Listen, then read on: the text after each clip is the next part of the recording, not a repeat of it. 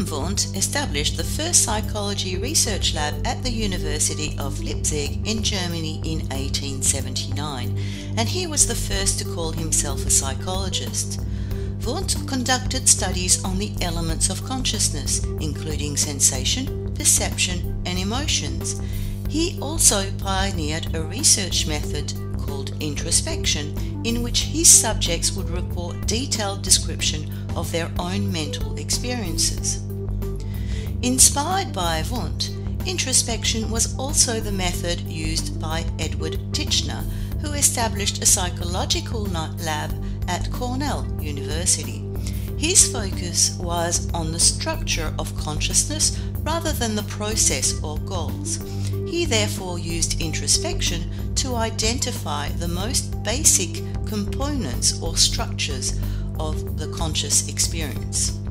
Titchener's structuralism, however, proved to be an unreliable method of investigation because it was too subjective. In addition, introspection had limited use since it could not be used with children, animals, or for complex topics such as mental disorders. William James adopted a different viewpoint and he emphasized studying the purpose or function of behavior and mental experiences. In the view of functionalists, all behaviors, emotions, and thoughts had a function, so the goal was not the structure, but to identify the goal. Functionalist views were very much in accord with that of Charles Darwin on physical evolution. While structuralists divided the subject under a study into a set of elements that could be examined separately, Gestalt psychologists focused on how we construct perceptual wholes. Max Wertheimer and his two assistants, Kurt Koffka and Wolfgang Kohler, are recognized as the founders of the Gestalt approach.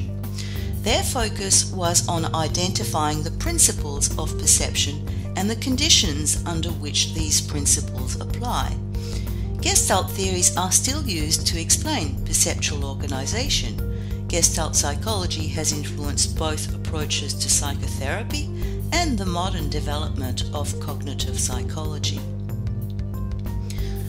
While structuralists and functionalists focused on the study of conscious experiences, Austrian physician Sigmund Freud focused on unconscious conflicts in determining behavior and personality. In particular, Freud focused on conflicts between accepted norms of behavior and unconscious sexual and aggressive impulses. Freud believed that dreams, slips of the tongue, otherwise known as Freudian slips, and memory blocks all provided glimpses into the unconscious mind.